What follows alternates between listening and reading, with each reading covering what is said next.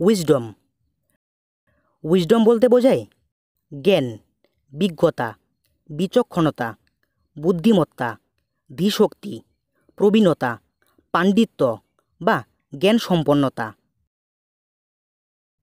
উদাহরণ without wisdom wealth is worthless জ্ঞান ছাড়া সম্পদ মূল্যহীন।